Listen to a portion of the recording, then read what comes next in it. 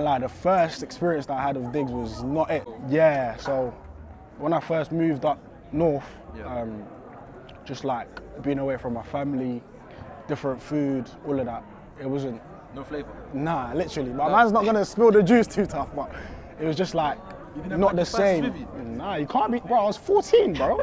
I wasn't thinking. I was thinking it's gonna be calm, you know. I wasn't ready for it, but it's just like I, it, it helped me adapt and become more of like my own. So like kind of getting up on time, waking up for school, waking up for football, all of that stuff. I'll probably say it was good. Yeah.